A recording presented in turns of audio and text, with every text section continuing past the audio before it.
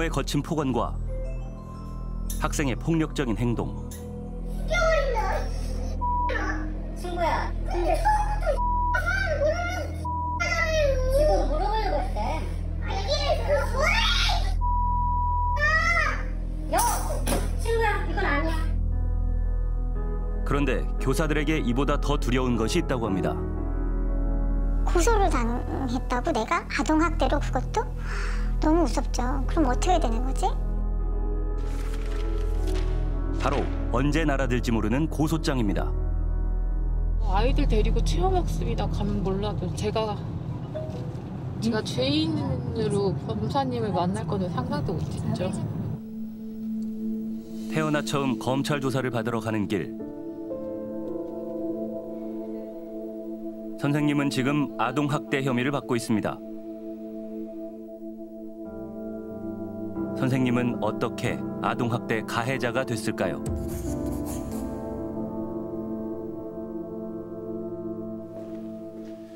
지난주 전국 대부분의 학교들이 입학식을 치르고 새 학년을 맞았습니다. 새 교실에서 새 담임 선생님을 만나고 새로운 친구들과도 사귀고 생각만 해도 설레고 가슴 뛰는 일입니다. 그런데 일선 교사들의 마음은 그리 가볍지만은 않다고 합니다. 운이 나쁘면 언제라도 이 교실에서 쫓겨날 수 있고 더 운이 나쁘면 수사기관에 불려갈 수도 있기 때문입니다. 교직은 더 이상 꿈의 직장이 아니라고 교사들은 말합니다. 오죽하면 탈출은 지능순이라는 말까지 나왔다고 하는데요. 대체 이 교실에서 무슨 일이 벌어지고 있는 걸까요?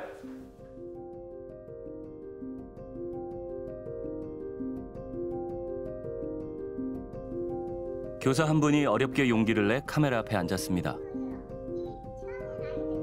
저는 전주 초등학교 교사라고 합니다. 어, 교육 경력은 어, 올해로 어, 35년 차 되었습니다. 지난 2월 선생님은 학부모로부터 고소를 당했습니다. 아픈 아이에게 뒤꿈치를 들어 걷게 했다는 것.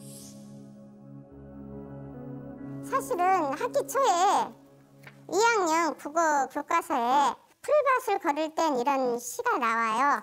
이제 봄이면 새싹이 돋아나잖아요. 그래서 이 아이가 이제 새싹을 이제 안 밟으려고 앞꿈치나 뒤꿈치를 걷게 하는 장면인데 어, 실제로 이제 교실에서 이렇게 걷는 거예요.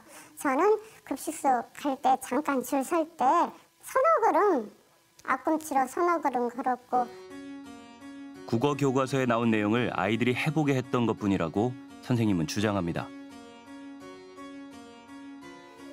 놀라운 건 아이가 2년 전 가르쳤던 학생이라는 것. 아이하고 고작 36일간 있었는데 지금 2년이 다 돼가는데 지금까지도 저를 괴롭히고 있어요. 그동안 무슨 일이 있었던 걸까? 시작은 칠판에 붙인 호랑이 캐릭터였습니다. 칠판에 붙어 있는 귀여운 호랑이 캐릭터가 있어요. 저학년 특성상 캐릭터를 좋아하거든요. 왠지 캐릭터를 한쪽에 붙여놓고 마침 그 한쪽에 빨간색, 노란색 붙어 있어서 어, 축구 심판하는 모습이 떠올라서 어, 저기 애들한테 영어 한답시고 red card, yellow card 하면 애들도 따라 웃었고 어, 공책 안 가져온 친구들 레드카드네 하면서인지 그 이름표 같은 것을 어, 올렸어요. 예. 학기 초 생활 지도를 위해 호랑이 캐릭터 옆에 이름표를 붙였다는 선생님. 2021년 4월 그날은 현수가 물병을 계속 구기며 수업을 방해했고 선생님은 호랑이 캐릭터 옆에 현수의 이름을 붙였다고 합니다. 그리고 방과 후 남겨서 지도를 하고 보냈는데 얼마 안 있어 현수 엄마로부터 전화가 왔다고 합니다. 그 엄마가 전화가 왔었어요. 잔뜩 화난 목소리로 어, 아홉 살짜리를 청소시켰어요 하면서 어, 지금 당장 학교로 갈 거예요. 현수 엄마는 곧장 교무실을 찾아왔다고 하는데요. 당시 교장을 만나봤습니다. 먼저 부모님이 교무실에 계셨어요. 그래서 교감쌤 만나고 갔는데 그 어머님이 수업을 끝나 수업이 끝나고 아이들에게 교실 청소를 시키는 건 체벌이다 이렇게 교감쌤한테 말씀을 하셨대요. 그래서 교감쌤이 음, 이것은 교육의 일환에도 있는 거다. 수업의 일환으로 가져셨으면 좋겠다 하고 가셨어요. 교감에게 항의한 후 현수 엄마는 다시 교실로 선생님을 찾아왔다고 합니다. 교실 문 열자마자 다짜고짜로 우리 아이 자리가 어디야? 악을 고래고래 지르고 자리에 앉더니 제가 잘 알지도 못했던 색연필 다른 아이가 떨어뜨렸는데 어, 실수로 밟았는데 그걸 담임이 사과시켰다고 그 이야기도 했고 또 받아쓰기를 왜 하냐 받아쓰기를 왜 해가지고 아이를 창피를 주냐 그런 얘기를 하고 갔었어요. 다음 날부터 현수는 학교에 나오지 않았습니다. 무단결석 이틀째 걱정이 된 선생님은 현수 엄마에게 전화를 걸었다고 합니다. 그런데 통화 도중 정신을 잃었다는 선생님. 구급차가 출동해 병원으로 실려가는 일까지 있었습니다. 제가 이제 정신적 충격으로 어, 119가 와서 어, 병원으로 싣고 가고 내 혈관 막혀버리고 해가지고 어, 2주 정도 학교를 못 나왔죠. 제가 없는 동안에는 또 애를 또 학교를 보냈대요. 제가 이제 2주 동안 병원 생활 끝나고 학교로 딱 오니까 더 이상 저한테 아이 못 맡긴다고 또 2시간 만에 데리고 가버리고 이후에는 교장이 직접 나서서 학부모와 협의를 진행했다고 합니다. 재협의안에 아이가 상처를 받았다면 그 아이에 대해서 상담 실시해 주겠다. 선생님 오시면 선생님도 우리 상담 전- 전문가가 있으니까 상담 실시해 보겠다. 그랬더니 그럴 필요 없고 그냥 교체해달라 그래서 교체는 지금 이 상황에 있으면 우리가 마음대로 하는 게 아니다. 이렇게 해서 보냈어요. 근데 협의를 하면 못 기다려요. 그날 그냥 교육청 가서. 담임 교체 요구가 받아들여지지 않자 학부모는 관계기관에 담임과 학교에 관한 각종 민원을 20건 이상 넣었다고 합니다. 그분 때문에 학교가 겪은 상처는 선생님이고 학교 차원이고 이건 말할 수가 없어. 정말 피폐된 인생이고 그분 한번 오고 나면 막 아휴, 진짜 진짜 막 숨을 반듯해도 그때는 안 되니까 저도 진단을 한번 받았어요. 교환쌤인데 진짜 1년 그걸 하시다가 진짜 너무 약하다가 진짜 쉬시고. 결국 담임은 교체됐고 선생님은 휴직을 신청했습니다. 그게 끝이 아니었습니다.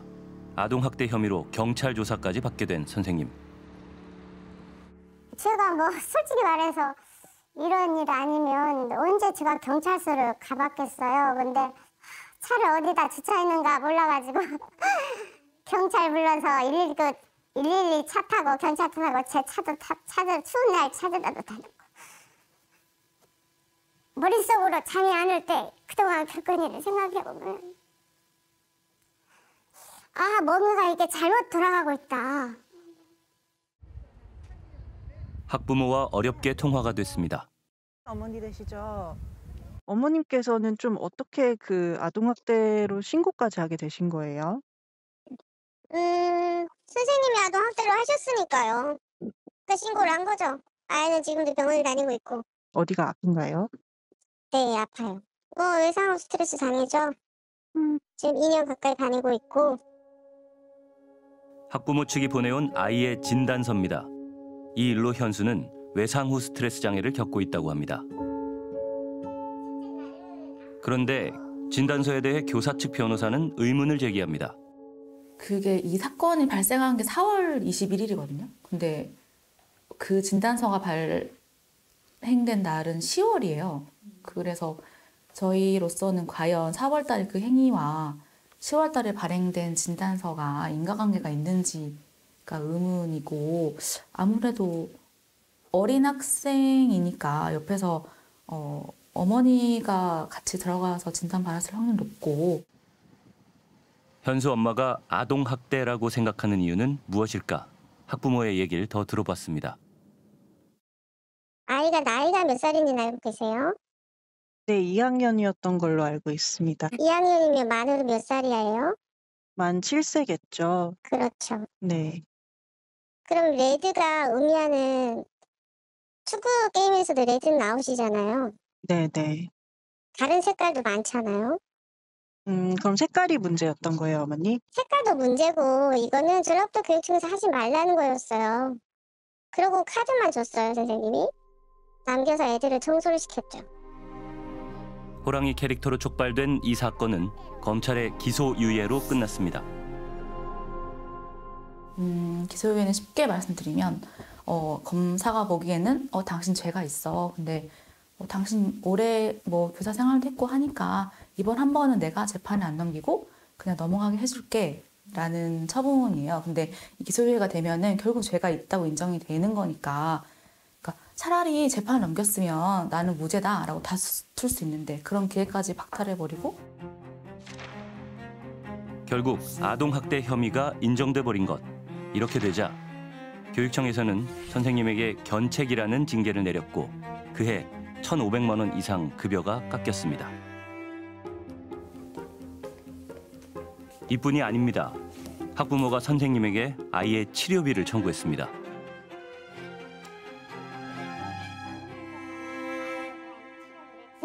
학부모가 또 학교 안전 공지에다가 어, 또 치료비 구상권을 또 청구해가지고 2년 동안은 이 아이를 치료했던 그 치료비를 천만 원어치를 어, 청구를 했나 봐요.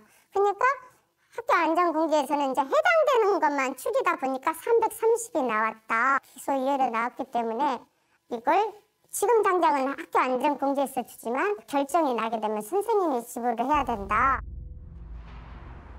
급기야 학부모는 까치발로 아이를 걷게 했다는 건으로 선생님을 경찰에 고소했습니다.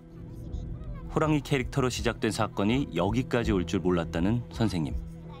생각도 못했죠. 아니 예쁜 호랑이 캐릭터가 나를 이렇게 말 그대로 이제 이름표 갖다 붙여서 정서적 학대라고 해서 진짜 이게 올바른 판단인가.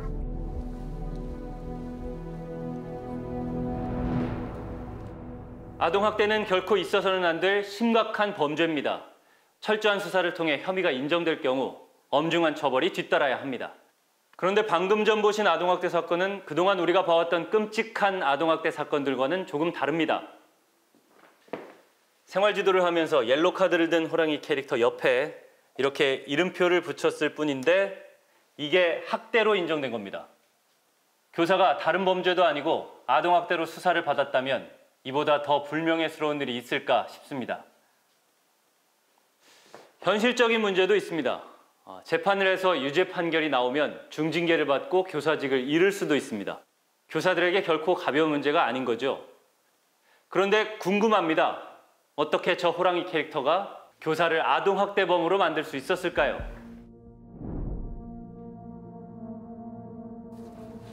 먼저 이해숙 선생님의 아동학대 혐의를 인정한 1차 수사기관의 얘기를 들어봤습니다.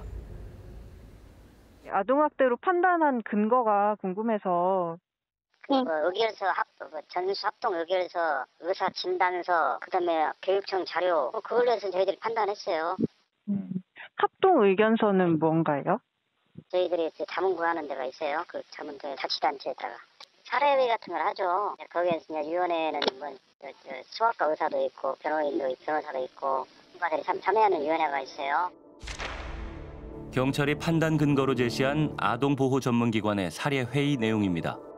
레드카드 그림 옆에 아동이 이름을 붙이는 것은 낙인감을 부여하여 수치심을 느끼게 할 수 있고 아동의 정서적 피해를 야기시키는 것에 해당하여 정서학대 판단함.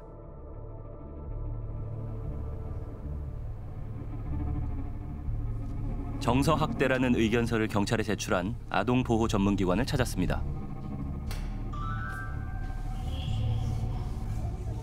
정서 학대로 판단함이라고 나오는데 그 판단 근거가 좀 궁금한데 저희가 이제 법적으로도 이게 공개가 가능한 부분들이 아니어서 그런데 수사를 담당한 경찰이 저희에게 고충을 털어놨습니다.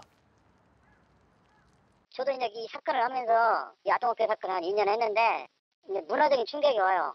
아, 그때는 안 그래도 이것도 이 단계까지 해도 학대구나라고 저도 이제 배우는 입장이죠. 달리 일방적인 상식선에서 그 잣대를 대시면 물음표 생길 겁니다. 어 이게 왜 학대지 라고 하는데 학대예요. 그렇다면 검찰이 교사의 혐의를 인정한 근거는 무엇일까? 담당 검사 역시 판단의 주요 근거로 전문기관의 의견을 들고 있습니다. 문제는 이 아동보호 전문기관 사례결정위원회의 의견이 법적 의견이 아닙니다. 이분들은 자문하는 역할만 해요. 그러니까 자기들은 아 우리는 의리의 의견을 검찰에 전달한 것 뿐이다라고 말씀을 하시고요. 그걸 전달받은 검찰은 아동보호 전문기관에서 아동학대로 보인다라고 하는데 내가 어떻게 이걸 뒤집냐 이런 입장이라서 서로가 서로에게 책임을 떠넘기면서 회피하는 형국입니다. 그 사이에서 지금 선생님 같이 억울한 케이스가 계속 계속 생기고 있는 안타까운 현실입니다. 학교 내 사건을 다루는 데 있어 아동보호 전문기관의 적합성에 대한 의문도 제기됩니다. 아동보호 전문기관은 가정 내 아동학대 전문가예요. 그 사람들은 별로 그렇게 이거를 아동학대로 판단하지 말아야지 이런 것들은 없어요. 원가정에 개입을 해서 필요하다면 여러 가지 자원을 연계를 해주고 교육 상담을 하는 게 바람직한 거고 그게 아동복지법의 목표니까. 근데 그게 가정 외 아동학대 학교에서는 맞지가 않아요. 근데 그 기준으로 아동학대 여부를 판단을 해버리면 이제 선생님들 같은 경우에는 완전 엉뚱한 결론이 나버리는 거죠. 실제 2010년부터 5년 동안 600명이 채 되지 않았던 아동학대 교사 수가 2016년부터 급증해 최근 5년 사이 8,000명이 넘었습니다. 상황이 이렇다 보니 교환단체에서는 가이드북까지 제작해 아동학대 수사에 대응하는 방법을 교사들에게 알려주고 있습니다. 경찰에서 수사 통보가 오면 어떻게 해야 하는지 등을 담았습니다. 물론 교육 활동이나 교수 수업 과정에서 이제 불만 있는 학생이나 학부모는 있을 수 있죠. 근데 그런 부분에 대해서 해당 교사를 좀 이렇게 어, 괴롭히는 방법으로 어, 이제 정서적 아동 학대로 이렇게 고소하는 어, 이제 형태가 어, 많이 지금 이제 유포되고 일선 교사들은 정서적 학대의 기준이 모호하다고 주장합니다. 모든 게 아동학대와 이어질 수가 있기 때문에 저는 정말 운이 나쁘면이라는 생각을 해요. 훈육적으로 어떤 이야기를 했을 때 그 사용하는 어휘가 기분이 나빴다 라는 것도 정서적 학대로 연결을 짓기도 하고 아이 특정인의 이름을 불러서 누구누구야? 이렇게 수업 시간 휴대폰 하면 안 되지? 그렇게 못하게 하거든요. 반 전체에 나를 특정해서 나에게 수치심을 주면 안 된다 학생에게. 이게 정서적인 학대가 되는 거예요. 이런 부담감 때문에 적극적으로 생활 지도를 할 수 없다는 교사들.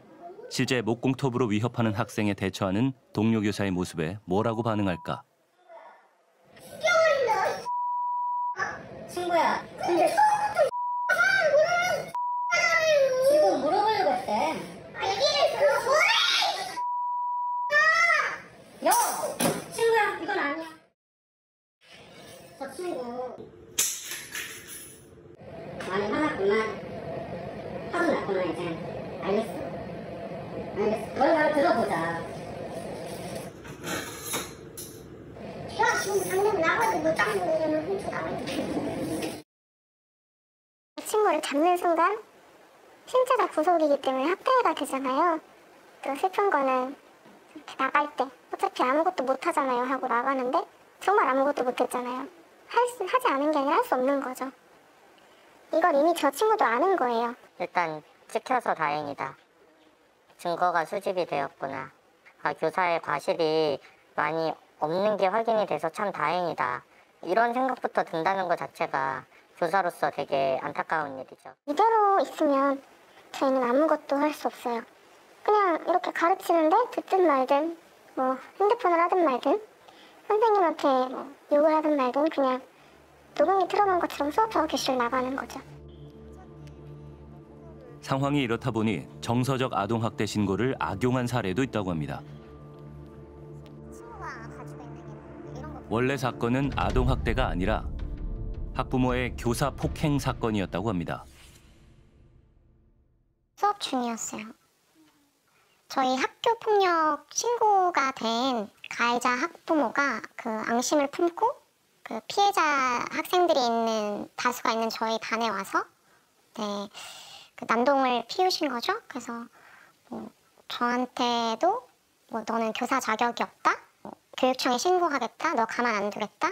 또 아이들한테는 학교 폭력으로 신고한 애가 누구야. 뭐 이런 뭐 욕설은 당연히 하셨고 2021년 11월 수업 중에 교실로 들이닥쳤다는 학부모.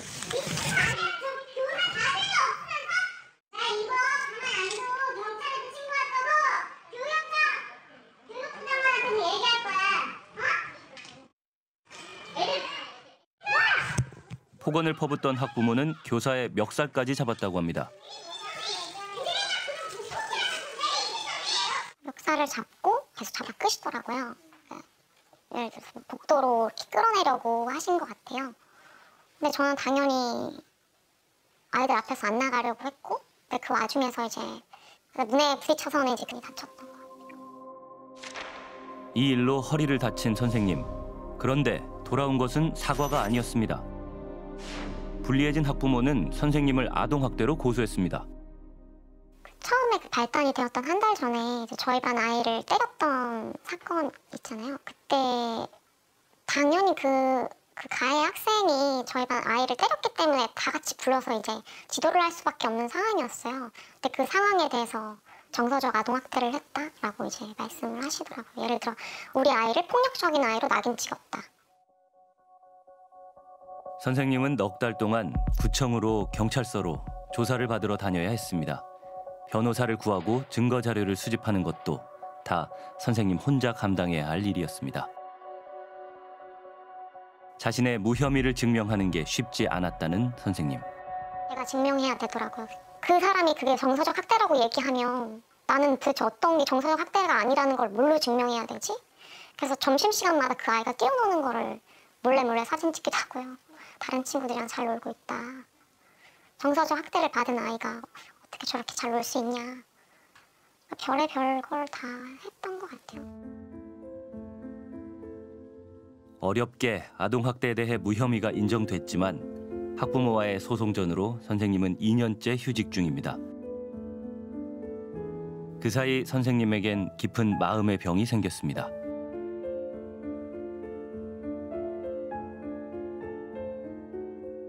지금 이렇게 피해를 받아서 인정을 아무것도 못 받고 지원도 못 받고 있다라는 어, 그런 게 가장 컸던 것 같아요. 왜 보호해주지 않느냐. 나는 그냥 여기 소속된 어, 교사고 어, 아이들을 가르치고 어, 그, 그런 거밖에 없는데 그게 죄인가? 어, 근데 여기 소속된 사람을 보호해주지 않나? 학교도 교육청도 선생님의 손을 잡아주지 않았고 홀로 외로운 싸움을 해 나가야 한다는 사실이 선생님을 더 힘들게 했다고 합니다. 취재를 하는 동안 교사들의 제보가 끊이지 않았습니다. 내 아이를 왕따를 시키고 있는 거다. 그러니까 나는 고소를 하겠다 이렇게 말을 하더라고. 아이가 어, 우리 선생님 무섭다 그러면 정서학대인 거예요. 그냥 물러나는 게 선생님한테 좋은 선택지일 수 있다 이렇게 하시더라고요. 그런데 많은 교사들이 보내온 제보 가운데 눈에 띄는 글이 하나 있었습니다. 부산에서 아동학대 신고를 당한 교사가 극단적인 선택을 했다는 것.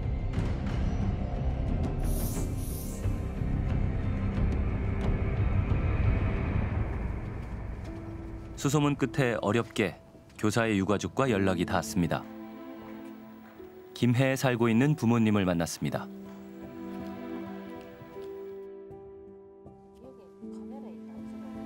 일년이 지났지만 어머니는 딸이 죽은 사실이 아직도 믿기지 않는다고 합니다. 김은정 선생님은 직장 생활을 하다가 서른 넘어 뒤늦게 교대에 들어갔다고 합니다. 그 어렵다는 임용고시를 단번에 통과해 어머니를 기쁘게 했던 딸이었습니다. 그 내가 함식해도 우리 딸은 내가 어릴 때부터 지금까지 정말 나쁜 짓 경우에 틀린 짓은 안 하는 애예요. 다 바르고 법대로만 사는 사람이에요. 바르고 법대로만 살던 딸이었기에 아동학대 가해자로 신고된 사실을 받아들이지 못했을 거라고 합니다. 그그 아동 학교 학대에 대해서 너무 숙고를 받았는 거라. 안 그렇게 했습니까?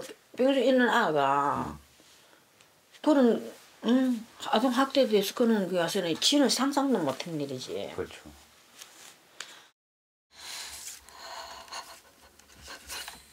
억울하게 죽어간 딸을 생각하면 어머니는 억장이 무너집니다.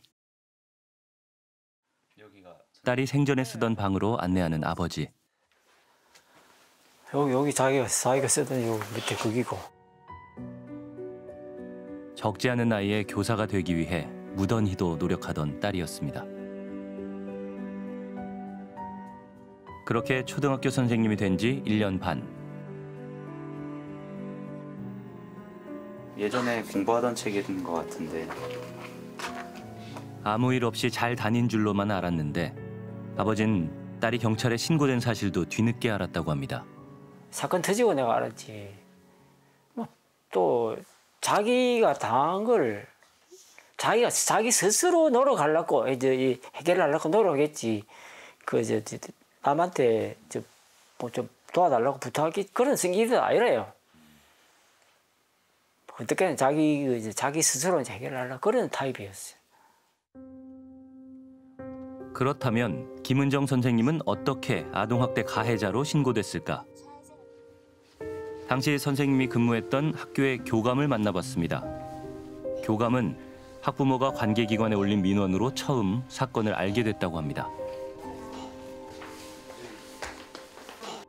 일단 학부모님은 전혀 막 선생님하고는 막 이야기를 안 하려고 하고 계속 저기 쪽으로 전화 걸고 남부교육청에도 전화를 하고 뭐 국민정부에도 민원을 굴리시고 뭐 이게 그 정도로 심각한 내용이었나요? 심한 건 아니었습니다. 그렇지만 이렇게 이제 그거 걸면은 아동학대로 되는 부분, 부분이었다. 그러니까 그 부모님도 뭐 변호사를 해가지고 해가지고 뭐 재판 재판이라 뭐 할까 그런 것까지도 뭐 준비를 하시고 계신 와중에 예, 그렇게 일이 터져버린 거죠.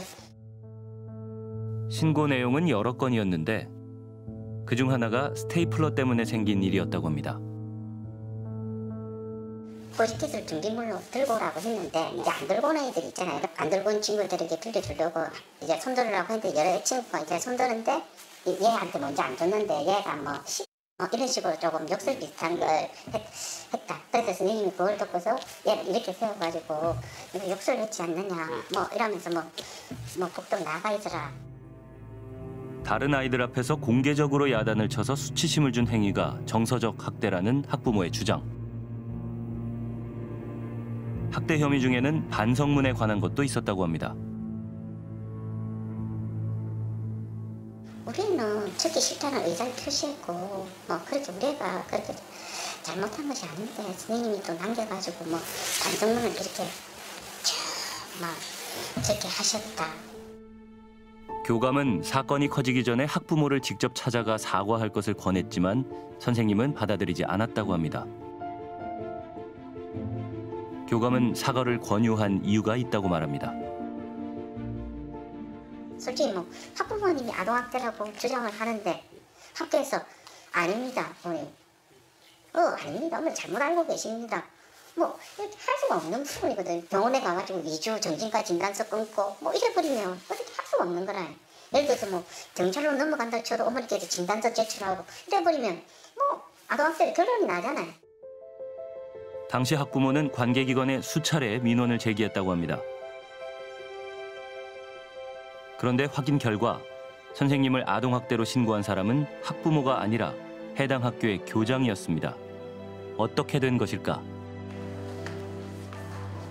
당시 선생님을 신고한 교장을 찾아갔습니다. 이제 인지 즉시 먼저 신고를 하게끔 학교에는 그렇게 돼 있기 때문에 우리가 그렇게 지침을 받고 법에도 그렇게 돼 있기 때문에 어 그래서 이제 일단은 신고는 이제 된 거죠. 뭐 예를 들어서 교육청에서 한번 사전 조사를 나온다든지 뭔가는 있어야 되는데 근데 이거 없이 바로 이게 신고가 돼버리니까 이 제도 자체가 너무 문제가 좀 있는 것 같다 그런 얘기는 있었습니다. 경찰 신고로 끝난 게 아니었습니다. 선생님은 바로 담임에서 배제돼 교실을 떠나야 했습니다. 갑자기 선생님이 학교에 나오지 않고 결근을 한 사실이 무척이나 의아했다는 동료 교사. 때는 1학기 말이었습니다.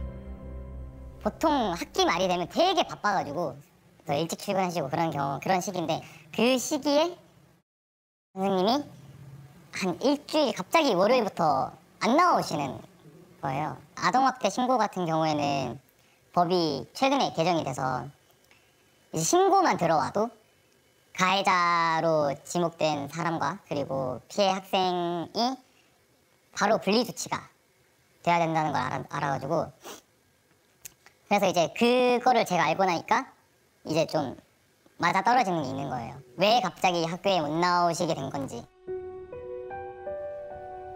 어쩔 수 없이 써야 했던 휴가. 그동안 선생님은 고립됐던 것으로 보입니다. 몇 달째 잠을 제대로 못 잤습니다. 너무 많이 지쳤습니다.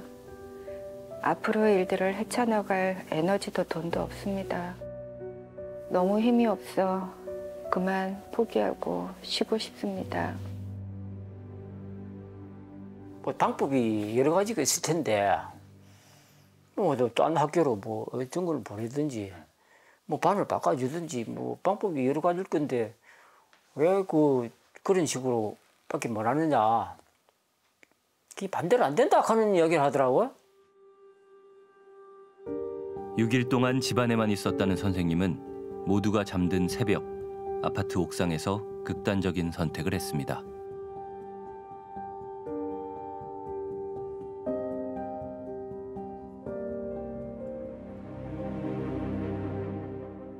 따님 마지막 모습은 보신 거예요?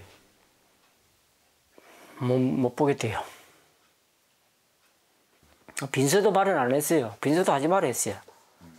유서에? 네. 빨리 잊지 달라고. 어? 그녀의 유언대로 가족들은 장례식 없이 화장을 하고 뼈가루를 뿌렸습니다.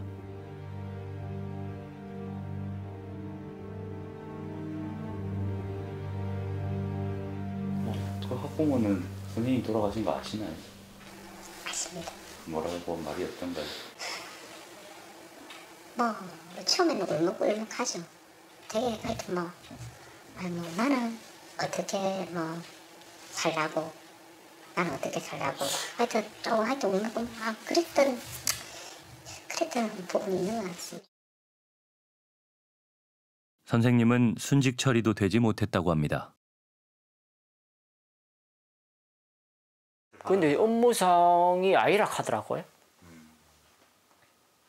학교에서 학, 학교에서 그런 것도 아니고 또 우리, 집에 오가 그랬으니까 좀 그래가 순직 처리는 안 됐어요.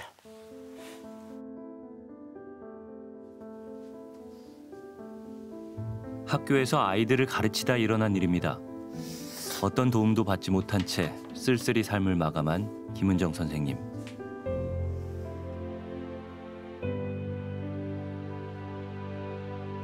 정말 이 일이 선생님 혼자 짊어져야 할 멍해였을까요?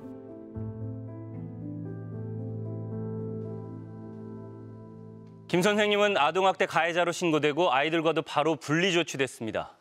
범죄자처럼 취급되는 현실에 몹시 절망했을 겁니다.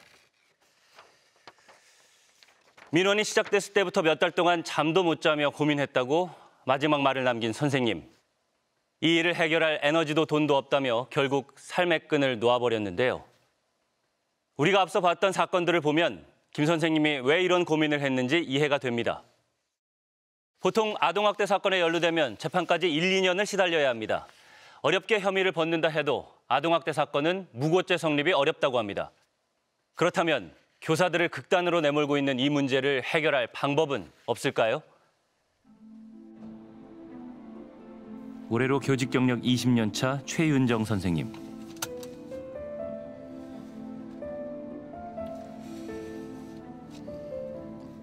손발이 떨려 운전대를 잡는 것조차 힘들어 보입니다.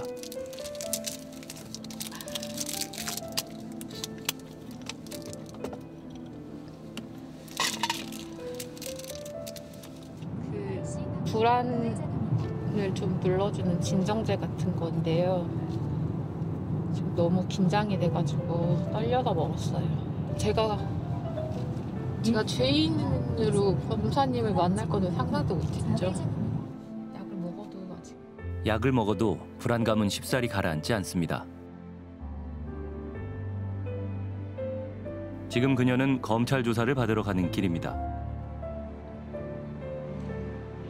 3학년 담임이었던 지난해 7월 선생님은 아동 학대 혐의로 고소를 당했습니다. 선생님을 고소한 학부모에게 고소를 하게 된 이유를 물었습니다. 근데 아이가 학교만 가면 네. 토해요. 음, 그래서 내과를 제가 일곱 번을 데리고 갔어요. 조퇴를 시켜서. 네. 그런데 내과에는 이상이 전혀 없습니다. 음, 그래서 내과 선생님이 저한테 조심스럽게 아이 소아정신과를 데려가라는 거예요. 음. 그런데 다른 학부모들이 선생님에 대해 들려준 이야기는 많이 달랐습니다.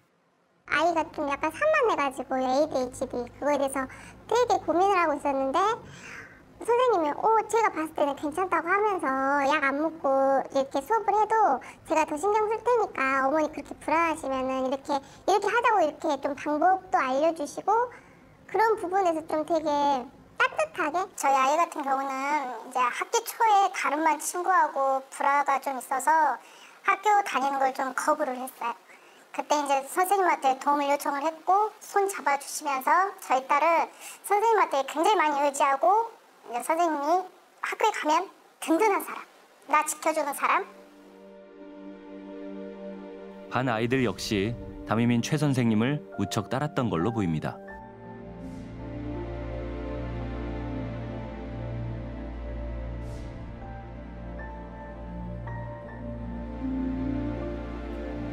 최윤정 선생님에 대해 해줄 얘기가 있다며 직접 저희를 찾아온 제자도 있었습니다. 최 선생님 덕분에 교사가 됐다는 제자. 2012년도 입시 때 지원 동기 부분에도 제가 5학년 선생님 얘기를 이렇게 썼거든요. 5학년 때 선생님을 보고 아 나도 나중에 저렇게 선생님이 돼서 좀 힘든 아이들이나 이렇게 따뜻한 말을 건네줄 수 있는 사람이 됐으면 좋겠다 그런 생각이 들어서 교사가 되겠다고 마음을 먹었고 집안 형편이 어려운 제자에겐 가방과 옷을 사주며 용기를 준 선생님이었다고 합니다. 옷을 맨날 똑같은 것만 입길래 그 옷을 사줬었다. 그리고 뭐 아침도 안 먹고 하니까 외식거를 사줬다. 막 사람들이 힘들 때도 있고 잘 될 때도 있는 거니까 나중에 잘 될 거라고. 그러니까 막 부담 갖지 말고 자존심 상해하지도 마라. 진심으로 제가 느꼈을 때는 엄마 같았거든요. 제가 뭐 없어서 모르, 모르겠지만 제가 아는 엄마라는 이미지는 그런 이미지였어가지고 선생님의 진짜 얼굴은 무엇일까? 고소 내용은 어디까지가 진실일까? 총 6건의 고소 내용 가운데 하나는 선생님이 정후에게 책상을 던졌다는 것. 넘어진 책상을 세우게도 했다는데 선생님이 기억하는 것은 달랐습니다. 저희 반 남자아이들 몇 명이 되게 다급한 목소리로 저를 찾아왔어요. 무슨 일이야? 그랬더니 애들이 겁에 질려가지고 이가 이를 주먹으로 때리는데 너무 무섭다고 하더라고요. 정후가 다른 친구를 때리고 있다는 말에 교실로 달려갔다는 선생님. 당시 정우는 좀처럼 흥분을 가라앉히지 못한 상태였고 다른 아이들까지 목소리를 높이면서 교실은 그야말로 난장판이었다고 합니다. 아이들끼리 뭐 큰 다툼이 있거나 반이 혼란스러울 때 저희가 떼어놓을 수도 없고 소리를 지를 수도 없고 뭐 그 아이를 혼낼 수도 꾸짖을 수도 없거든요. 그래서 제가 그때 순간적으로 생각한 거는 뭔가 소리를 다른 소리를 내서 아이들을 좀 빨리 진정시켜야겠다라는 생각이 들어서 책상을 넘어뜨리는 방법을 사용했었는데 선생님은 일단 아이들을 진정시켜야겠다는 생각에 책상을 넘어뜨렸을 뿐 정후에게 책상을 던진 사실이 없다고 주장합니다. 학부모를 직접 만나 고소 내용을 다시 확인해 봤습니다. 4월 12일 날은 선생님이 전화가 팍 와가지고 어머니 얘가 아이를 심하게 때렸습니다 했어요. 너무 놀랐죠. 선생님 제가 지금 바로 가겠습니다. 그래서 선생님께서 이런저런 얘기하시다가 제가 화가 나서 책상을 어? 책상을 정확히 기억이 안 나요. 책상을 찼어요라든지 아니면 던졌어요. 둘 중에 하, 그 말을 하셨고 제가 화가 나서 그랬는데 제가 화가 안 풀려서 화가 안 풀렸으니까 책상을 다시 세워놓으라고 했어요. 나머지 다섯 건의 고소 내용에 대해서도 학부모와 선생님의 주장은 전혀 달랐습니다. 사실 고소 전부터 학부모와 선생님은 학생 지도 문제로 갈등을 겪어왔다고 합니다. 아, 나 잘못하면 거- 고소당하겠다 싶은 생각이 들더라고요.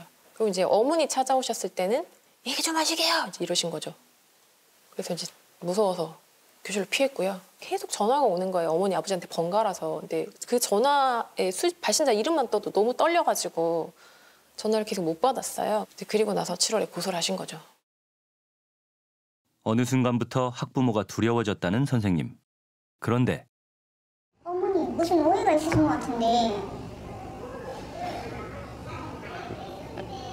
한번 저를 좀 보시죠라고 하셨, 하시던지 저랑 통화를 하시죠라고 하셨던지 왜 그러시지 않으셨을까요? 그래? 해봐 이렇게 좀 비춰졌거든요. 안 그래도 좋지 않, 않은 감정에서. 현재 학부모는 형사 고소와 함께 수천만 원의 민사 소송도 진행 중입니다. 지금이라도 꼬인 상황을 풀고 싶은 마음은 없는지 학부모에게 물었습니다. 인정까지 바라지가 않는다니까 이제 저도 너무 지쳐가지고 인정까지 바라지 않으니까 너무 제가 그냥 조금 어머님 생각하시기에 과, 과했나 보다 그 말 한마디라도 그냥 해주라는 거죠 저는 아 이걸 전부 다 인정하고 그래 나는 아동학대에서 그것이 아니고 그래 거기까지만 하셔도 다 그냥 취하고 그냥 제가 이렇게 써서 드릴 것 같아요 그 검찰에 선처해 주시라고 거꾸로 생각하면 형사 고소를 한 사람한테 가서 제가 과했습니다라고 인정하기가 가서 하기가 쉽지 될것 같아요. 맞아요. 근데 근데 거꾸로 생각하면은 처벌 받는 거는 낫지 않나요? 하지만 형사 고소를 당하게 되면 상대 측의 주장을 인정하거나 사과하는 게 재판에 불리하게 작용할 수 있습니다. 말처럼 쉬운 일이 아닙니다. 갈등의 골이 깊어질 대로 깊어진 지금 법적 대응은 온전히 교사의 몫으로 남았습니다. 전문가들은 중재 시스템이 없다고 지적합니다. 교사에게 학생들을 온전히 가르칠 수 있는데 기울이지 못하게 하고 이 민원까지를 다 떠넘게 가고 하는가 이 시스템에 대한 질문인 거죠 사실. 이걸 갖춰주지 않고 교실에서 벌어지는 일을 온전히 네 담당이야 네가 책임져.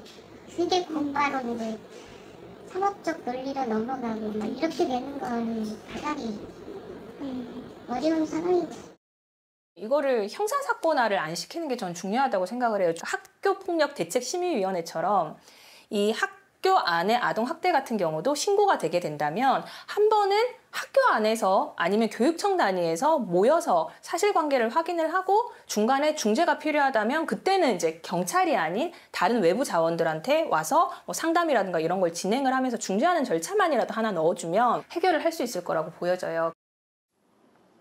소관부처인 교육부는 이 문제를 어떻게 보고 있을까?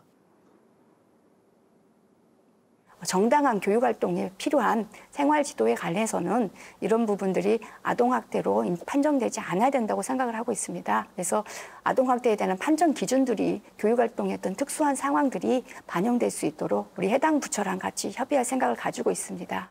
교사가 어, 교육 활동에 집중할 수 있도록 보호가 돼야만이 어, 거기에서 같이 수업을 하는 우리 학생들의 학습권도 충분히 보장받을 수 있기 때문입니다. 이런 문제가 터질 때마다 남은 아이들은 영문도 모른 채 담임 선생님과 헤어져야 합니다. 금미스러운 사건으로 인해서 애들이 정말 방치 아닌 방치가 돼가지고 항상 선생님을 그리워했어요. 다른 애들 그 스물 몇 명의 학생들은 다 피해를 봤다니까요. 제대로 수업을 할 수가 있어요? 누가 피해자겠어요? 그 아이들이 가장 피해자지. 수사에 소송에 하루하루 피가 마른다는 선생님. 언제쯤 웃으며 아이들과 만날 수 있을까요?